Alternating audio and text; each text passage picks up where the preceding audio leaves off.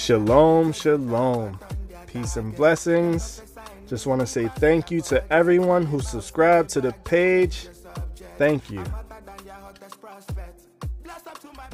Cosmography and Geography in two parts. By Monsieur Sanson, the geographer to the French king, 1693. When God had promised it to Abraham and his posterity, it was called the land of promise. But when it fell into the hands of the Hebrews after their return from Egypt, and they had it divided by tribes, it took the name of the land of the Hebrews, under which it was governed by prophets, judges, and kings. But under these kings, it was soon divided into two realms, which they called Judah and Israel. Under the Romans, it was only known by the name of Judea or Palestine of Judea because the tribe of Judah was always the most powerful of the twelve, and the kingdom of Judah the most noble, and preserved itself longer than that of Israel of Palestina because of the Philistines, which possessed a part of the maritime coast of Judea, were powerful and very well known to strangers. After the death of our Savior, Jesus Christ, all this country was called the Holy Land. The people which anciently possessed this country were the Jews, being of a middle stature, strong of body, of a black complexion, google eyed, subtle and ingenious people, and such as would live in any place.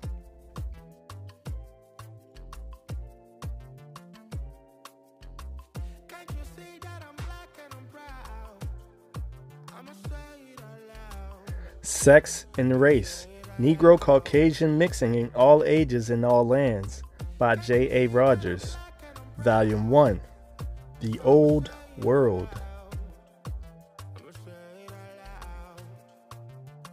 Were the Jews originally Negroes? European painters and sculptors, by their use of white models to typify biblical characters, have falsified tremendously the physiognomy of the ancient Jews. We are familiar with the scores of portraits offered to us as Christ, but do good Christians ever stop to think what he really looked like? Josephus, a first century historian, describes him as a dark skinned and simple in appearance, and his Halosis, suppressed portion of his work. Solomon, too, is portrayed as a white man, though in the songs attributed to him, he speaks of himself as black but comely. After visiting most of the leading galleries of Europe and America, the only realistic painting of an Eastern crowd that I've ever seen is Christ and Barabbas by Verlat in the Royal Museum of Antwerp, where the mob is clamoring for Barnabas in preference to Christ.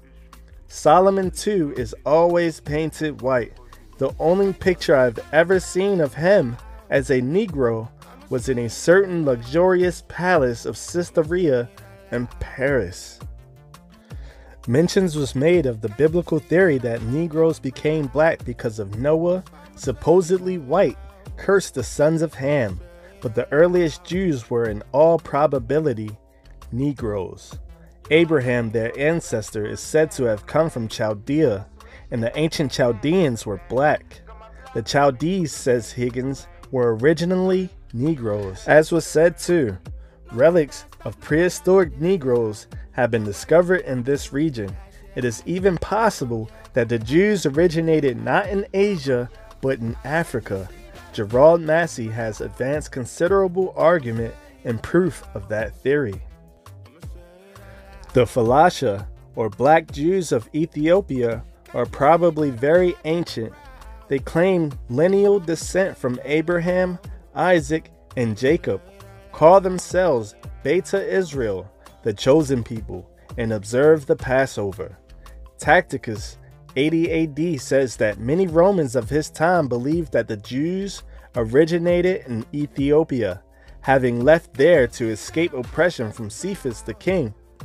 Whiston, translator of Josephus' History of the Jews, asks, with regard to this, One would wonder how Tacitus or any other heathen should suppose the African Ethiopians under Cepheus, who are known to be blacks, could be the parents of the Jews, who are known to be whites.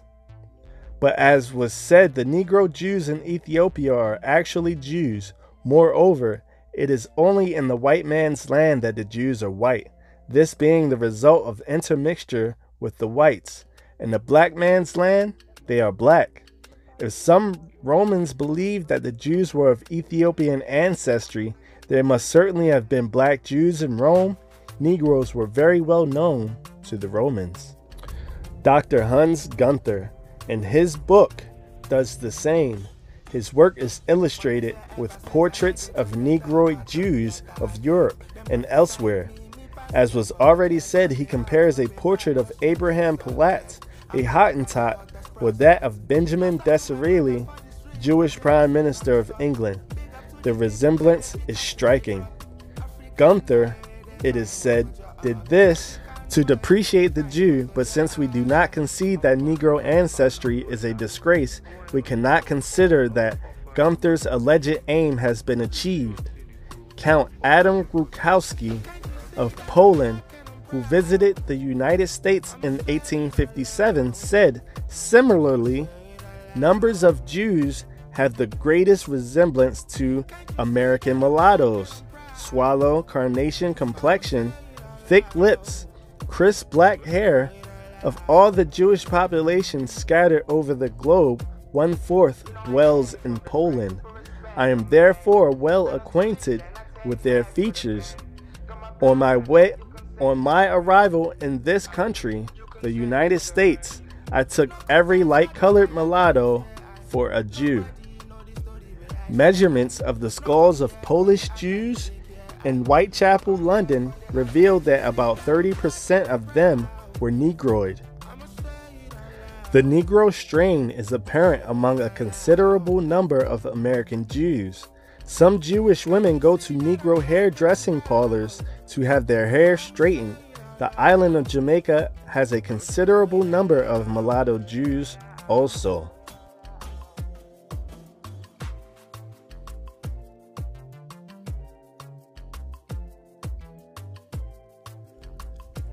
Nature Knows No Color Line by J.A. Rogers. Strabo 30 BC says the people of western Judea were of part Egyptian ancestry.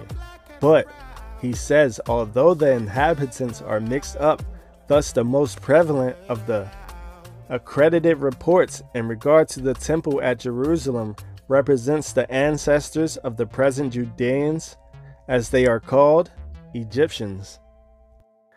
Tacitus, about 90 AD, says many assert that the Jews are an Ethiopian race. For Romans to have taken them for Ethiopians is clear indication of their color, since the Ethiopians were definitely black to the Romans.